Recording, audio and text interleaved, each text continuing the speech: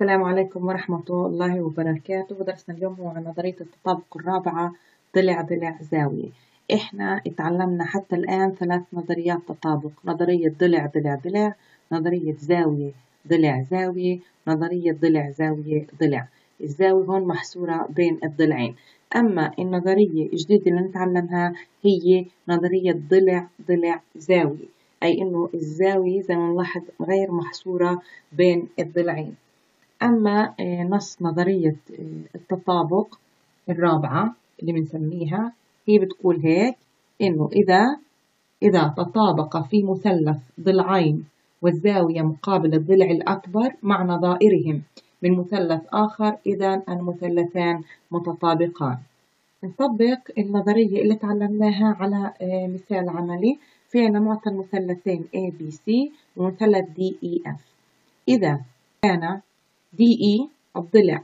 DE يساوي الضلع B يعني DE يساوي AB وأيضا DF يساوي C يعني هون DF و AC والزاوية A الزاوية A تساوي الزاوية بي يعني الزاوية اي والزاوية بي من هون إحنا نستنتج إنه المثلث D E F يطابق المثلث A B C.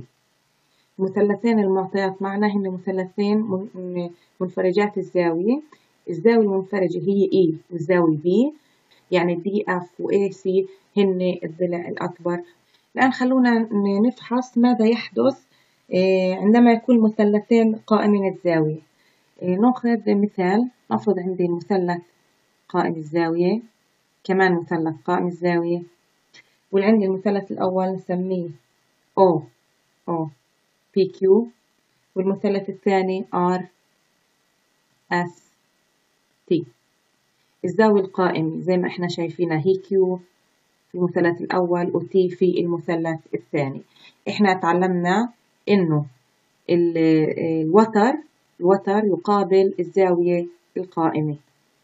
وتر يقابل الزاوية القائمة. إذا في المثلث آه، OPQ عندنا الزاوية Q هي الزاوية القائمة اللي تساوي 90 درجة. في المثلث آه، RST عندنا الزاوية T هي اللي تساوي 90 درجة. O في الوتر. وعندنا هون SR هو الوتر. يعني الضلع الأكبر. إذا كان PO يساوي SR وأيضا طبعا وتر. والزاوية Q تساوي الزاوية T هاي الزاوية قائمة. ونفرض إنه OQ يساوي RT هاي ضلع قائم. أو بين قوسين ممكن أو مش مهم واحد من أضلاع القائمة. أو PQ يساوي ST واحد منهم. ينتج إنه المثلث OPQ يطابق المثلث RST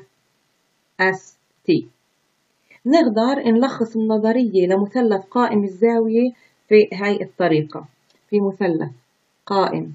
الزاوية إذا تطابق الوتر والزاوية القائمة وأحد الأضلاع القائمة مع نظائرهم في مثلث آخر إذا المثلثان متطابقان. هيك بخلص درسنا لليوم. شكرا لكم وإلى اللقاء في الدرس القادم.